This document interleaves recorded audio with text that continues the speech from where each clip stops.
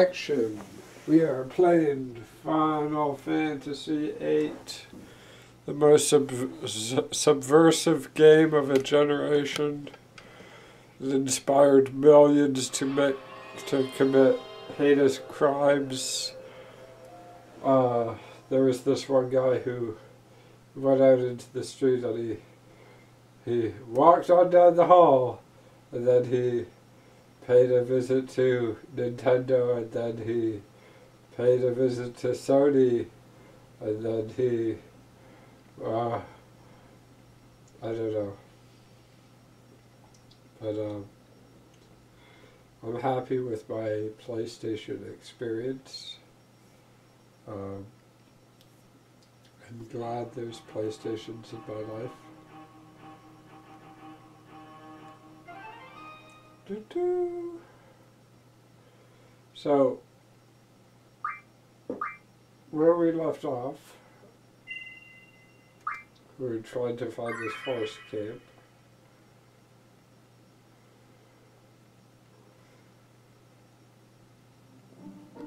You, my friends?